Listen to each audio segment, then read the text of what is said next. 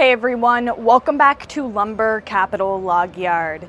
Today we are going to be cutting some longer logs and I wanted to give you guys some tips and tricks for doing this. It's not that big of a deal cutting uh, longer stuff, you know, we inventory 10s and 12s so we do a lot of 10 and 12 footers but when it comes to 16 foot and even 18 foot logs, uh, there's a few things that we do a little differently that I'd like to share.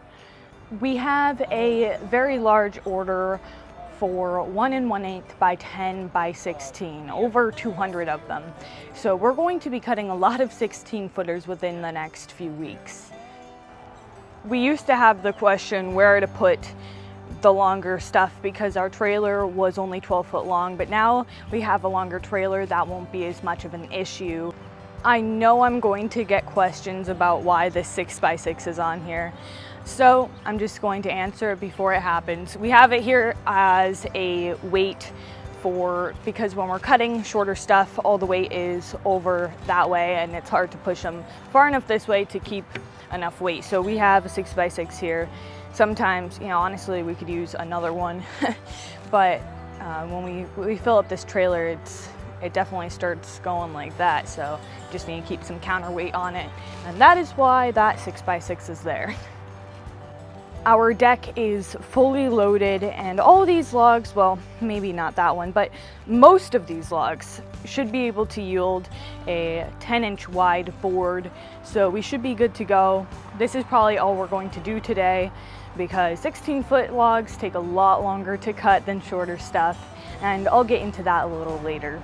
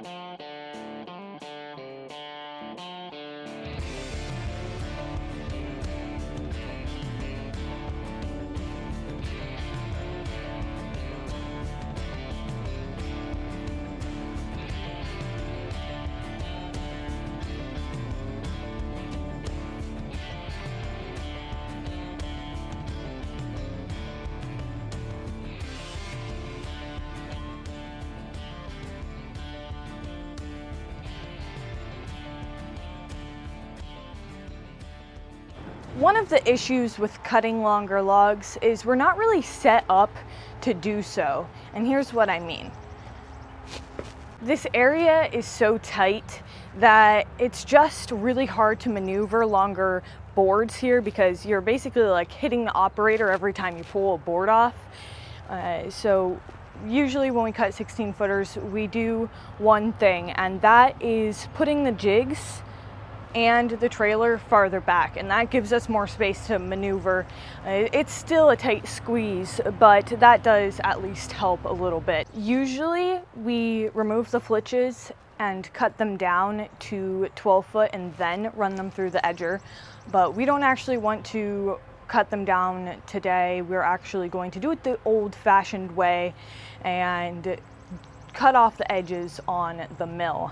Uh, the first way we did it, which is the one that you just saw, uh, putting the boards up and then cutting it as you cut the main cant. I think we're going to do a little differently this time and cut them afterwards because that was a little bit too challenging. It just was too much of a mess, uh, too much all at once. So and it with it being one eight one and one eighth it doesn't cut on the inch so it's going to be different. Um, so what we're going to do is we're going to put the flitches on the arm and just wait till after you cut the whole cant put them back up and then cut the edges off. The reason why we're not cutting the 16 foot edges on the edger why we're not using the edger is because it's too tight in there. Uh, we can't actually get 16 footers over there. And I know that that's just an issue that we have here at our log yard, but this place isn't as big as it might first feel. We kind of run out of space. We run out of space a lot, so it's too much of a tight squeeze and that's why we cut them down usually when we use the edger. But we want to keep it 16 foot long, so we're just going to do it the old fashioned way. There is one thing that we do when we cut 16 footers that I feel like is handy to know if you don't know it already. Because they are longer than normal, well, I don't know what you guys are cutting on your mill, but because they are longer logs, this there's actually more stress on the blade because the blade is cutting for longer.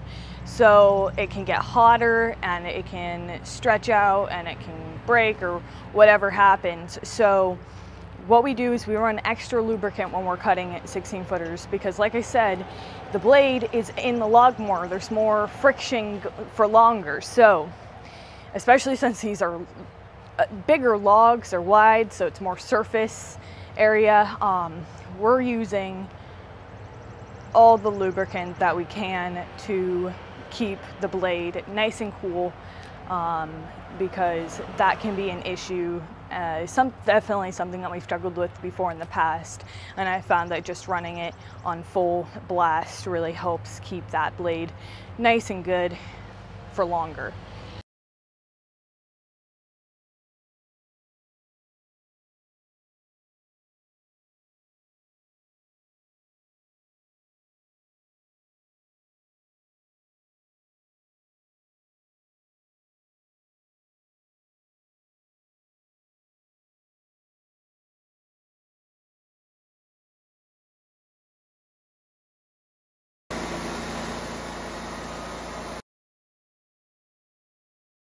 Another thing I like to do when I'm cutting longer logs is when I cut off the slab, making it a little bit smaller.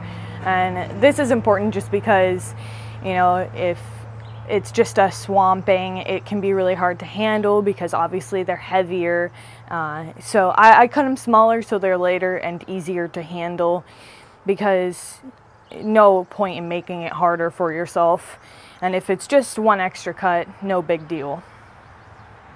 Another very important thing to do when you're cutting longer logs is drink coffee. And here's why.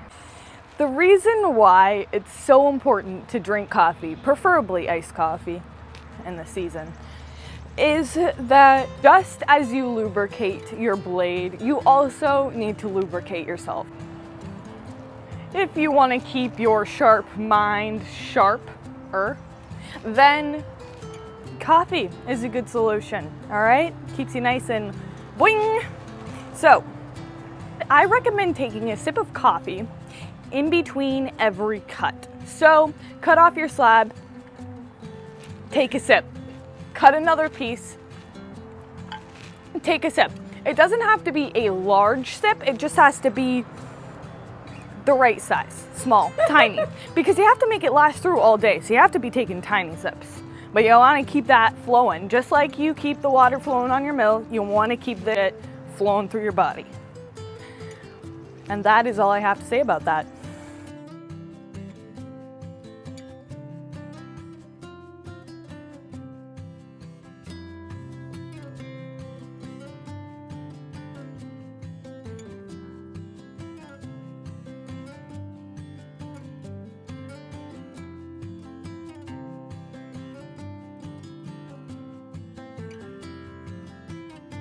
When you're cutting longer logs is drink coffee. And here's why. I tried to I tried to say that so seriously. That really. Just as you lubricate your blade, you also need to lubricate yourself.